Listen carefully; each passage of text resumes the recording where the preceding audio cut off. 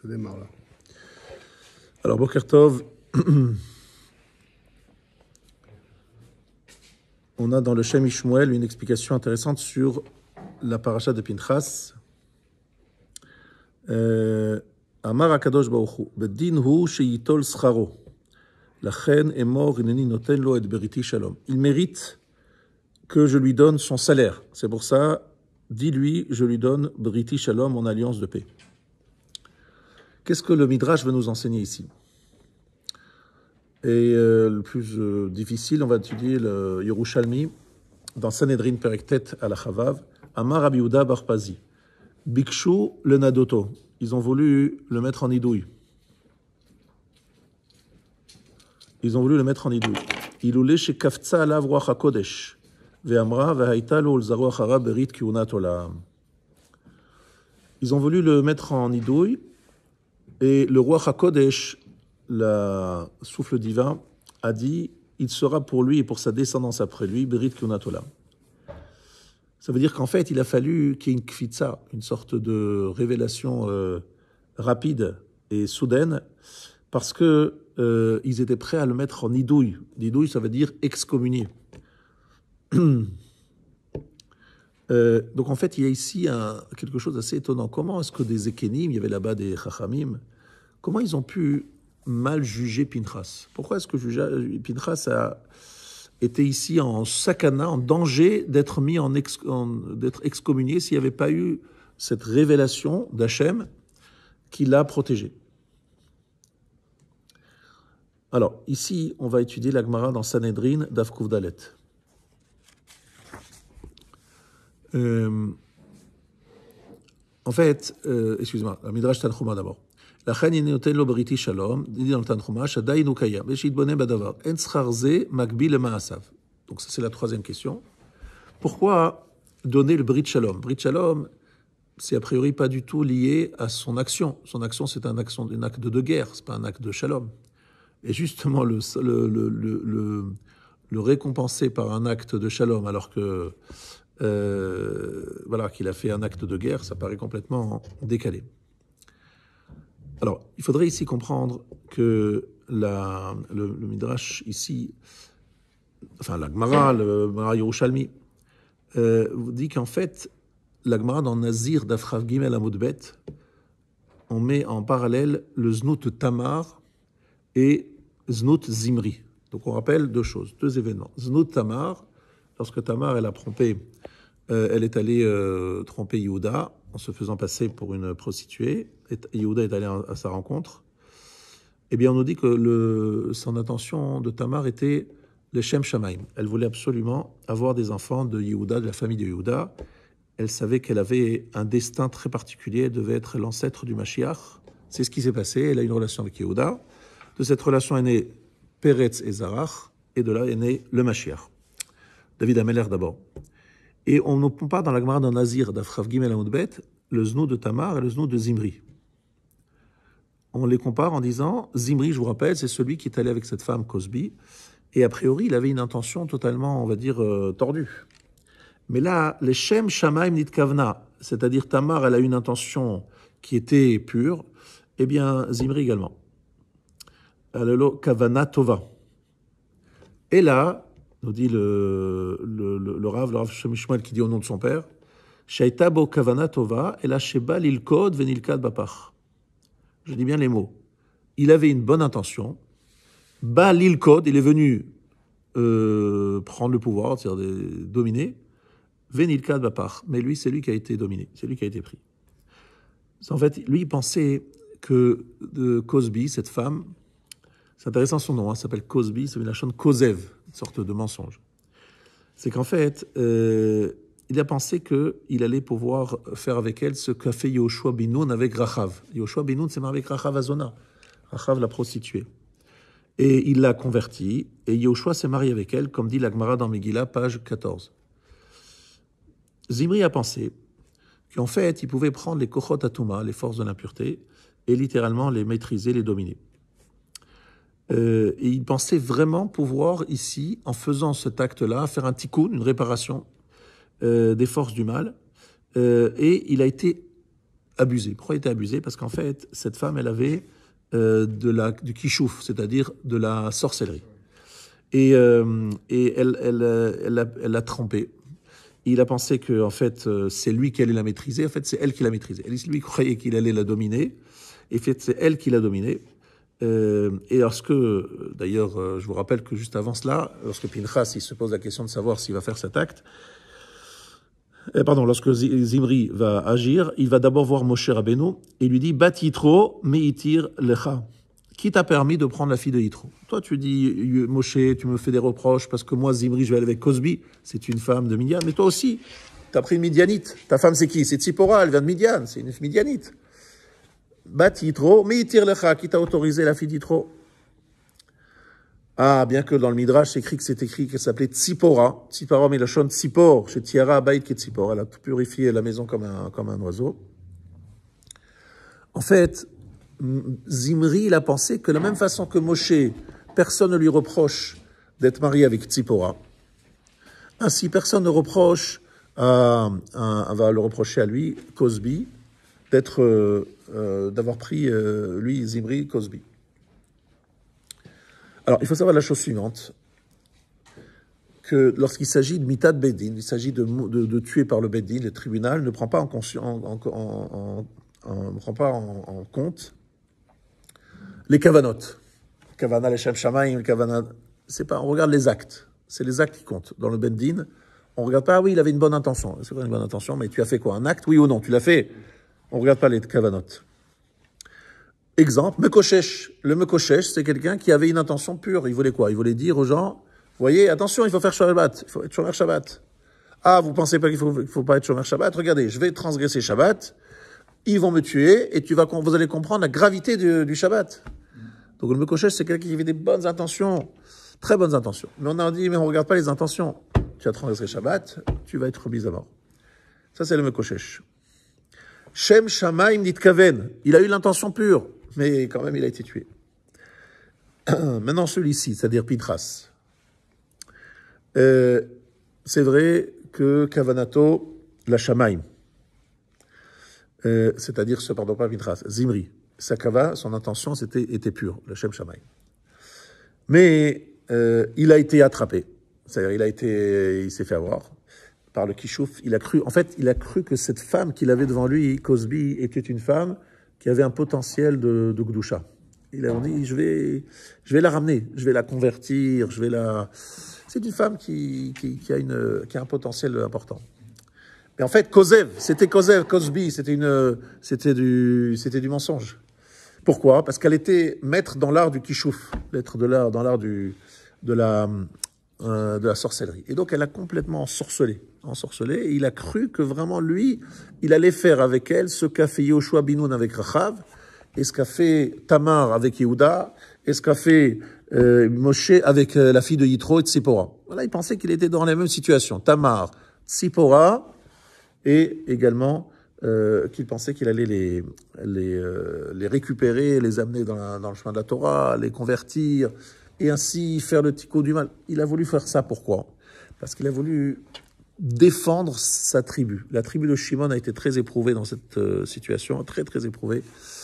Et la tribu de Shimon a été éprouvée parce que euh, ils étaient euh, une grande partie de ceux qui sont morts, c'est la tribu de Shimon. Ils ont été décimés. Et en fait, ils reprochent à leur maître, à leur chef, mais toi tu fais rien. Vas-y, fais quelque chose, protège-nous.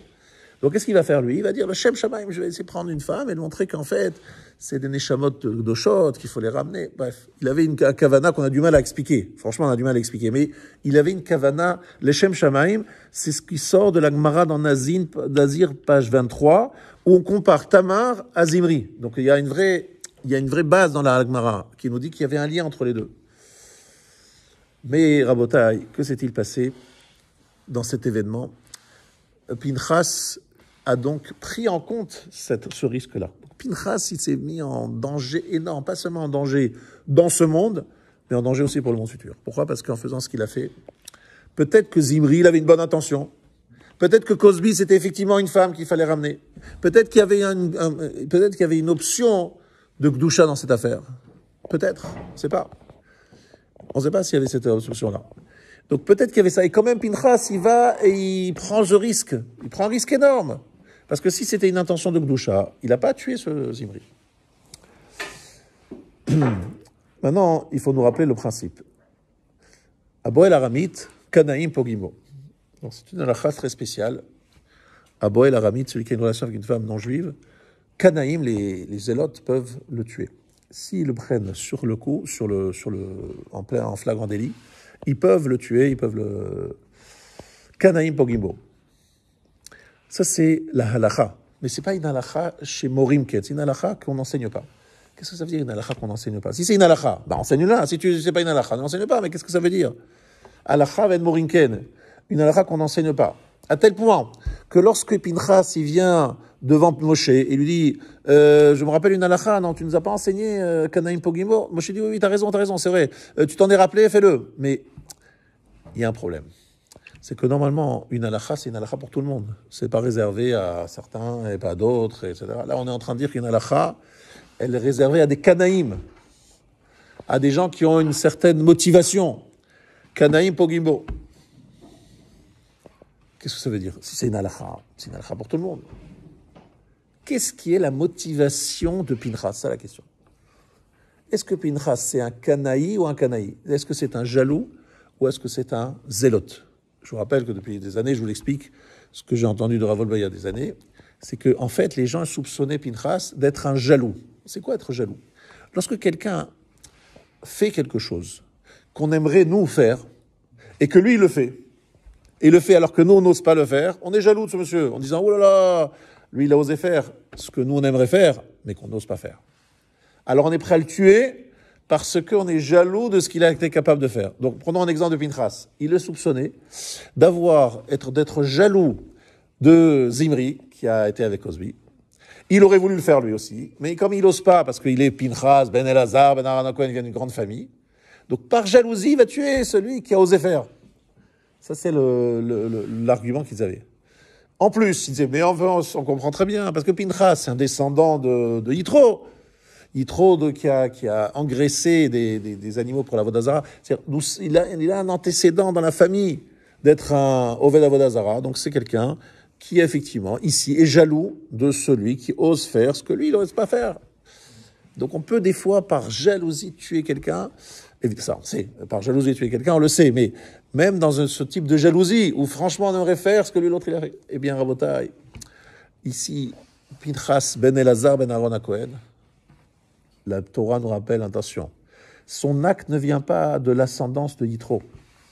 C'est vrai qu'il y a une grand-mère maternelle ou paternelle qui est Yitro, mais un ascendant depuis de Yitro, d'une fille de Yitro. Mais attention, c'est pas ça l'origine de son acte. C'est Pinchas ben Elazar ben Aaron. Ça vient de Aaron, sa force. Il fait ça par British Shalom. Qu'est-ce qu'il veut faire, Pinchas? Sa seule motivation à Pinchas, alors qu'il prend des risques énormes, dans ce monde, dans le monde futur, c'est d'être mécané les locaves, d'être un zélote pour Hachem. Il est jaloux pour Hachem. C'est quoi jaloux pour Hachem? Il dit quoi?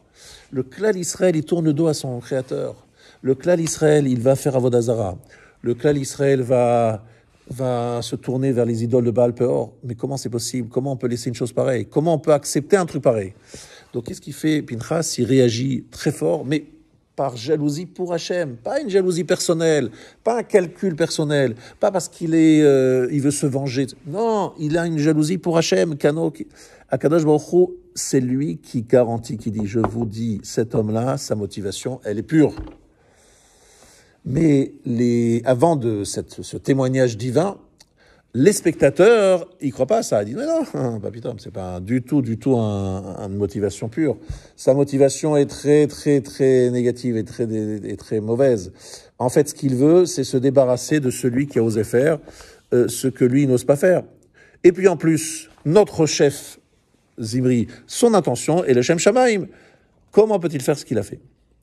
Donc en fait, il faut bien comprendre, Vaïkar Romar Beyado. Il a pris un Romar. C'est quoi Romar? C'est une épée, c'est une lance en fait, c'est pas une épée, c'est une lance. Mais pourquoi, mais pourquoi, pourquoi on utilise ce mot romach Romach haservav, shuramach keminyan ramach evarim, la sotam harem, otiot dedin ke otiot deden, vehu higbia inyanze la soto kulo kodesh verachem al Israël. Ramach evarim, les 248 membres, ramach, romach, resh memchet, 248, comme les 248 membres. Ça veut dire quoi? Ça veut dire que, il veut dire kulo kodesh. Les hagbia, il a pris romar. Vaikar, ça veut dire hagba'a, c'est soulever, prendre, prendre la hauteur. Car romar beyado. Et euh, il a pris tous ces cas 248 membres et il les a offerts, donnés pour le clan d'Israël. En fait, moi je pense que lui, Pinchas, il était dans le doute. Est-ce que je fais une bonne chose ou pas une bonne chose? Est-ce que je vais bien réussir mon acte? Tant pis. Je prends le risque de faire un acte catastrophique, mais je prends aussi le risque des fois, mais aussi la chance peut-être, de sauver tout le peuple juif. Donc je me donne non seulement physiquement, mais aussi moralement, mais aussi rouchaniquement. Peut-être que je vais totalement faire une bêtise, mais je suis prêt à tout prendre, à tout risquer. Pourquoi? Je suis mécané chaîne. J'ai un kina pour Hachem. Je dis, je suis pas possible. On ne peut pas laisser cette chose se faire. Je dois réagir. Et Vaïkar, c'est mis la shon hagba. Vous savez que plusieurs fois dans la Torah, le mot Vaïkar, c'est hagba, c'est-à-dire soulever, élever. Ainsi ici, Moshe repris, il a pris tous les Ramach et Maintenant, Ramach 248, c'est le nombre de mots qui se trouvent dans le Kriyat Shema. Dans le Kriyat Shema, 248 mots. C'est pour ça qu'on dit Hashem Elokechem Emet à la fin, pour compléter les 248 mots. Parce qu'on veut dire que le Kriyat Shema doit nous, doit être, nous pénétrer dans les 248 membres. On doit être pénétré par le Kriyat Shema, 248 membres. D'accord? Et c'est les 248 mots du Kriyat Shema. D'accord? Maintenant, euh, il faut savoir qu'en faisant cet acte-là, Pinchas, il a été zoché au nom, au Yud. D'accord? Quel Yud il a été zoché? Pinchas, ça s'écrit comment Pinchas? Avec un Yud ou sans Yud? C'est toute une question dans l'alacha. Mais là, a priori, il a gagné un Yud en faisant son acte. Pourquoi le Yud? Qu'est-ce qu'il a de particulier, le Yud? Parce qu'en fait, le Yud représente Pinchas en paix, Yud Nunret, Pinchas. Parce qu'on pourrait l'écrire Pinchas sans Yud, et lui, Pinchas, il a été zoché, on lui a offert un Yud. Et il me semble que dans le Sefer Torah, là j'ai un doute, je crois que dans le Sefer Torah c'est avec un Yud. Et euh, c'est un cadeau qu'on lui a fait suite à cet acte parce qu'il a su faire ce qu'il a fait. Pourquoi le Yud? Pourquoi le Yud? À quoi correspond le Yud? Le Yud représente euh, Olam Abba. Olam Abba. Et Akadosh Baruch a créé avec le ce monde-ci et avec le Yud le monde futur. Mais Yud c'est surtout ce qui transforme le passé en futur. Az Yashir Moshe au futur. Char, c'est pas écrit qu'il a, chanté au passé, c'est écrit Yashir au futur. Moshe Rabbeinu, il, il chantera. Parce que le Yud, il transforme un passé en futur. Pourquoi? Parce que le Yud, c'est la marshava, la pensée.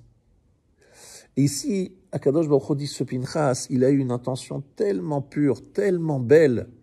Toute sa motivation, c'était ça, alors que normalement, il aurait dû avoir tout à fait une autre, euh, attitude. Il aurait dû dire, bon, je, je risquerai, je ne me mouille pas. Je ne vais pas mouiller, je prends un risque trop grand. Je ne me mouille pas. Non, Pinchas, il avait une intention pure et il l'a totalement mise en pratique. Alors, Akadosh Baruch nous dit, voilà. Toute sa motivation à Pinchas, c'était shalom. La paix entre Hachem et son peuple. C'était sa seule motivation. Il n'y avait aucune dans son, dans son acte, il n'y avait aucun, aucune jalousie, aucune volonté de tuer, aucune agressivité, rien. C'était propre, nickel. Shalom, c'était parfait, le shalem, etc. Voilà ce qu'il dit à Kadosh Baruch à tous ceux qui doutent et qui veulent le tuer Pinchas en disant Pinchas, ou en tout cas le mettre en idouille, ou l'excommunier. Non, non, non, Pinchas, c'est un homme Kadosh, son acte est Kadosh et Shalom. Il est non seulement Shalom, il est Shalem. Shalem, ça veut dire entier, il est le complet. Il n'y a pas dans Pinchas euh, une demi-intention négative. Parce que s'il y avait eu peut-être des intentions négatives, des midot raot, etc., peut-être que ça aurait été très différent. Mais là, Kadosh Baruch témoigne. Alors, Rabotai, cet acte-là restera dans la génération à venir comme étant un des actes les plus extraordinaires que la Torah euh, a décrit. Parce qu'il y a ici un homme qui a mis de côté tous ses calculs personnels qui n'avait qu'une intention pure et qui a fait un acte parfait, sans qu'il y ait à aucun moment un réveil de quelque chose ou une volonté de, vengeance ou de... Alors effectivement, Rabotai, cette force-là de Pinchas lui a donné un shalom avec le malach avec l'ange de la mort. L'ange de la mort, on fait shalom avec lui, ça veut dire quoi? Ça veut dire Pinchas, il va vivre très longtemps, très longtemps. Vous savez que Pinchas était encore là à l'époque de Yiftach. Yiftach, il a fait un vœu Et Pinchas, on lui reproche de ne pas être venu à sa rencontre de Iftar et de lui avoir délié de son vœu. Iftar, c'est à l'époque des juges. Pour des juges. On est déjà, il a au moins vécu, Pinchas, au moins, au moins quelques centaines d'années. Quelques centaines d'années au moins. Certains disent que Pinchas c'est Eliaou, mais ça, en général, on pense que c'est une réincarnation. Eliaou de Pinchas. Et pourquoi on pense que Eliaou et Pinchas sont liés? Parce que Kano Kineti dit Eliaou, Eliaou dit la même chose, je suis jaloux pour Hachem. Ce côté jaloux, c'est quoi? C'est-à-dire, je ressens combien le Kvod Shamaim, l'honneur du ciel, est bafoué. Je ne peux pas supporter une chose pareille. Je suis un zélote, je ne supporte pas que l'honneur d'Hachem soit bafoué. Donc je réagis je réagis pour protéger, entre guillemets, pas protéger, mais aller, euh, donc, pour, pour aller dans le, dans le sens du projet divin. Akadosh Baruch Hu voulait dévoiler son nom sur terre. Et il y a ici un acte très grave. Et les gens vont dire, regardez ce peuple juif, soi-disant ils ont reçu la Torah, soi-disant ils vont rentrer en Eretz Israël, mais regardez comment ils se conduisent et comment ils se comportent. Donc je suis là pour, pour défendre le projet divin. Ça, c'est ce qui fait euh, Pinchas. Et donc, une fois qu'on a dit tout cela, Revenons à notre, euh, à notre Kriyat Shema, 248 mots. 248 mots du schéma. Le schéma, c'est Ichud. Hachem, Echad, Echad, En Milvado. Cette capacité d'exclure toute autre option à son acte, uniquement cette pensée totalement désintéressée. Et ça, effectivement, euh, cet acte-là restera pour les générations à venir comme étant un acte de shalem et de shalom. 248, c'est Ramach Veikach Ramach Il a pris les 248 dans sa main. 248 mots dans Shema Israël. En fait, il n'y en a pas 248, et c'est pour ça qu'on répète Hashem Elokechem Emet. Et lorsque tu es seul, tu dis Kel Melech parce que tu as 245, il faut que tu arrives à 248. Donc pour arriver à 248, le Shalier Tzibour te répète, te rend quitte, en répétant Hashem Elokechem Emet, pour arriver à 248. Et euh, il y a effectivement aussi six mots, évidemment, dans le schéma Israël, et il y a 48 mots dans le premier paragraphe du schéma, Ve'afta. Pourquoi 48 mots? Comme les 48, euh, les villes de, de, de, 42, pardon, il y en a 42. 42 mots plus 6, ça fait 48. 42 villes de refuge, parce que c'est 42 villes des Lévi'im, plus 6, les 6 euh, villes de refuge officielles pour le Haré pour le, celui qui tue par inadvertance. Donc il y a, des, des extraordinaires dans le schéma, mais le schéma représente cette euh, capacité de mobiliser tous tes 248 membres et dire Hachem, Echad, Echad, attention que tous mes 248 membres acceptent cet Echad. Et justement, l'acte de Pinchas, c'est un acte d'assujettissement total à cette volonté d'Hachem, à ce Echad. Parce que normalement, un être humain classique, qu'est-ce qui se passe lorsqu'il fait un acte aussi violent il, réveille en lui des, pensées, des envies. C'est dur de tuer comme ça. Donc en général, c'est un peu d'agressivité. Il essaie de solliciter un petit peu de méchanceté, un petit peu quelque chose pour pouvoir tuer. Chez Pinchas, c'était un acte parfait, shalem, shalom. Shalem dans le shalom. Alors que c'est un acte de, guerre. Parce que lorsque quelqu'un tue, et il est capable de garder totalement euh, l'amour qu'il a pour l'autre, mais il le tue uniquement le Shem Shamaim, cette force-là, elle dépasse celui qui ne tue pas. C'est-à-dire celui qui a tué et qui est resté, chalet, qui est resté dans le shalom, c'est-à-dire qu'il n'a jamais, à aucun moment, montré ou voulu développer en lui une détestation pour celui qui tue. Il ne le tue que parce que il veut glorifier le nom d'Hachem, que par Kanaout pour Hachem. Ça, c'est l'homme qui est le plus loin de la guerre et, du, et, de, et de la haine. Maintenant, évidemment, Rabotai, vous savez que cette halakha ne s'applique plus aujourd'hui mais elle ne s'applique plus aujourd'hui pour une raison très simple, c'est que déjà, il faut être canaïm, il faut être à ce niveau-là, il faut être dans cette intention, parce que si tu n'es pas canaï, si tu n'es pas dans cette logique-là, tu es dans un cas, dans logique d'une vengeance, d'une règlement de compte, d'une volonté de, de, violence, etc. Dans ce cas-là, cet acte est taref, assour, assour, en morinken, c'est pas quelque chose qu'on enseigne parce que c'est quelque chose d'extrêmement dangereux, parce que les gens ils peuvent faire n'importe quoi avec ça en disant ah, je suis au nom de Dieu, et ça devient quoi? Le Hamas. Ben, le Hamas il dit je tue le Shem Shamaim. Euh, je suis pour euh, l'honneur de Dieu, Allah Akbar. Voilà ce qu'il dit. Les religions, ça donnait toujours souvent des, beaucoup de bains de sang. Parce qu'on est capable de fois de se dire, mais pour le nom de pour Allah, pour Hachem, pour truc, on y va, on, règle un peu le problème. Euh, Chaz Shalom. C'est pour ça que cette halakha n'est pas une halakha qu'on enseigne, et c'est quelque chose qui s'est passé avec Pinchas, mais qui n'est pas un exemple à suivre au quotidien pour la plupart des hommes qui n'ont pas ce niveau-là de Kanaout. Parce que si c'est pas 100% pur, c'est 100% taref. Vous entendez? Si c'est pas à 100% cachère, c'est 100% taref. C'est comme quelqu'un qui me dit, vous savez, il y a un petit problème de cache-route, euh, mais euh, bon, je dis, mais si c'est pas, c'est ou cachère ou pas cachère, c'est dites-moi, cachère ou pas cachère. Non, ici, si c'est, il y a un petit peu d'intention négative, on est dans le 100% tarif. C'est pas à moitié, c'est pas à 50%, c'est 100% tarif. C'est seulement lorsque c'est entièrement et chalem, et shalom, et chalem, à ce moment-là, c'est 100% cachère. Mais vous comprenez que les gens qui ont assisté à cet acte ont dit Mais non, celui-là, c'est sûrement parce qu'il a la famille, des antécédents, il a ceci, cela. On va trouver toutes sortes de- d'explications. Il dit Non, Pinchas ben Nazar ben Aaron Cohen. Aaron, c'est Shalom. Aaron, c'est l'homme du Shalom. Et lui, son petit-fils. Cet acte est un acte de Shalom. Et c'est pour ça que vous savez qu'un un Cohen qui a fait une Retzicha, un assassinat, il n'a pas le droit de faire Birkat Kohanim. Birkat Kohanim, c'est interdit. Pourtant, lui, il a gagné Birkat Kohanim. Il a gagné la Keuna en tuant.